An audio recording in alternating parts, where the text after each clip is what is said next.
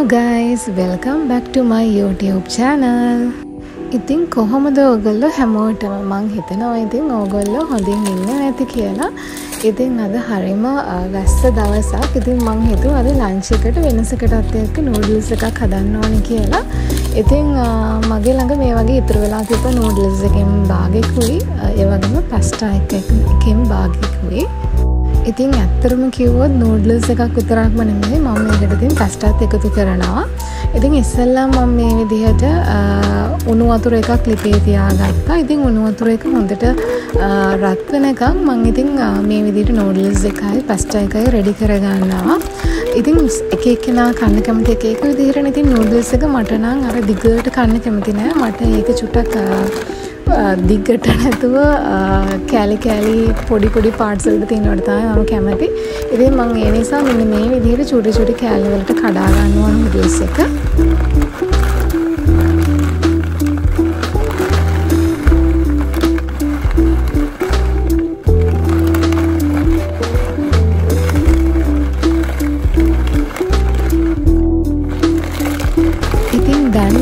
මගේ මම ලිපේ තියාගත්ත උණුවතුර එක හොඳට රත් වෙලා තියෙන්නේ. ඉතින් මම ඒකට ලුණු ටිකකුයි ඒ වගේම බට චුට්ටකුයි දාගන්නවා. දාගෙන හැන්දෙන් ටිකක් මික්ස් කරලා ඉට පස්සේ මගේ නෝඩලස් ටිකයි පැස්ට ටිකයි හොඳට දාලා ඒක හොඳට තම්බ ගන්නවා. ඉතින් ඒ ටික හොඳට තැම්බෙන්න දීලා මම දැන් මේ ඉක්මන්ටම කපාගන්න හදන්නේ පැස්ට එකටයි නොඩලස් එකටයි ඕන එලෝලු ටික. ඉතින් මං අද වෙනසකටත් එක්ක මේ කෑම එක බබාටත් දෙන නිසා මං හිතුව නිවිති ටිකකුත් දාලා බලමු කියලා. ඉතින් සාමාන්‍යයෙන් අපි ඉතින් නිමිති හදන්නේ ඩාල් කරයකකට දාලානේ. ඉතින් මංහිතව වෙනසකරත් එක්ක අද නෝඩලස් එකටයි පැස්ට එකටයි දාලා බලන්න මොනවගේ රසත් දෙන්න කියලා. ඉතින් වැඩිය ලෝලුවක් මම ගත්තේ නෑ කැරටුයි ලීක්සුයි තමයි ගත්තේ. ඉතින් ලූුණු ගෙඩියක් ගත්තා. ඉතිං මගේ නූඩල් එකයි මේ පැස්ට එකයි හොඳට බොයිල් වෙනකම් මම මෙන්න මේ විදිහට චූටි කෑලවලට මගේ එල්ලෝලු ටික මං කපාගන්න කප්පගත්තා ඉතින් මගේ නෝඩල්ස් ටිකයි පැස්ට ටිකයි හොඳට දැන් බොයිල් වෙලා තියෙනවා. ඉතින් මං ටික හොඳට වොෂ් කරලා වතුර ටික ඔක්කොම බේරෙන්න තියාගෙන දැන් ඉතින් මේ නූඩල්ස් එකේ ඉතුරු ටික තමයි හදන්න යන්න. ඉතින් හරිම කාම් එන්වයමන්ට් එකක් තමයි තියෙන ඉතින් අද වැස්ස දවසක්නේ ඉතින් හොඳ හුළඟකුත් වෙනවා ඉතින් ඒ හොළඟත් එක්ක මම ඉතින් පෑන් එකට මේ විදිහට තෙල් ටිකක් දාලා මගේ ලූුණු එතකොට සුදු ලූුණු කරපිංච මේ ටික හොඳට ෆ්‍රයි වෙන්න දැම්මා. ඉතින් අද මම මේ නූඩල්ස් එක හදන්නේ වෙනස්ම විදිහකට. සාමාන්‍යයෙන් අපි එග් එකක් කඩලා දානවනේ. ඉතින් අද මම මේ ගන්නෙ නූඩල්ස් එක හදන්න තම්බපු බිත්තරයක්. එක එග් එකයි දාන්නේ. මොකද මම අද මේ කෑම එක දෙන්නෙකුට හදන්නේ. ඉතින් ඒ නිසා තම්බපු බිත්තරයක් තමයි මම මේ විදිහට අර ගෑරප්පුවකින් පොඩි කරලා මේ නූඩල්ස් එකට අද දාන්නේ වෙනසකටත් එක්ක මට හිතුවා හිතුණා ඒ විදිහට ට්‍රයි කරලා බලන්න ඕනේ කියලා.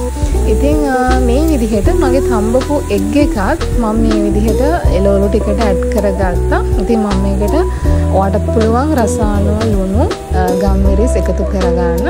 ඉතින් මේ විදිහට ඊට පස්සේ මම පොඩ පොඩ නූඩල්ස් ටිකයි පැස්ටා ටිකයි හොඳට එකතු කරගත්ත පොඩ පොඩ ඔක්කොම එකපාර දැම්මේ නැහැ. ඉට පස්සේ මට චුට්ටක් සැරට ඕන නිසා මම කෑලි මිරිස් කුඩු ටිකකුත් දාගත්තා. ඉතින් මෙන්න මේ විදිහට හොඳට මම තෙල් එකේ ෆ්‍රයි කරගත්තා. ඉතින් ඔය විදිහට තමයි මම අද මගේ රස නූඩල්ස් එක හැදුව. ඉතින් ඕගොල්ලොත් මේ විදිහට හදලා නැත්නම් try කරලා බලන්න. ඒකත් හරිම රසට ආවා. ඉතින් ඒ ගමම්ම මම හිතුව සව් එකකුත් අද හදාගන්න ඕනි කියලා. ඉතින් වැඩි වෙලාවක් යන්න ඉක්මනටම සව් එකක් රසට ඔයාට හදාගන්න පුළුවන්. ඉතින් මගේ වීඩියෝස් බලන කෙනෙක් නම් ඔයා දන්නවා මම සව් එකක් කොහොමද රසට හදන්න කියලා වීඩියෝ එකක් කරලා තියෙනවා. ඉතින් බලපු නැති කෙනෙක් ඉන්නවා නම් ඔයාට ගිහිල්ලා එතනින් බලන්න පුළුවන්. එතන මං විස්තර ඇතුව කියනවා. ඉතින් ඒතන තියෙන නිසා මම ආපහු කියන්න යන්නේ කොහොමද මම සව් එක හද හදන්නේ කියලා. ඉතිං ඔහොම තමයි ඉතින් අද මම ලංච් එක රෙඩි කරගත ඉතින් ඩෙසට් එකට රසම රස සව් එකක් තමයි හැදුවේ ඉතින් අර හැමදාම ලංච් ගන්නකොට ඉතින් ගන්න දේවල් නැතුව ඒ ඩෙසට්ස් නැතුව මට හිතුණා වෙනසකට අද ඉතින් මේ විදිහට ට්‍රයි කරලා බලන්න. ඉතින් ගිහිල්ලා එන්නම් තවත් ලස්සන වීඩියෝ එකක් කරන් එනකම් පරිස්සමින් ඉන්න. ඉතින් ඔයා තාමත් මගේ වීඩියෝස් බලන්න මාව සබස්ක්‍රයිබ් කරලා නැත්නම් ඉක්මනටම සබස්ක්‍රයිබ් කරලා බෙල් අයිකන් එක ක්ලික් කරන්න.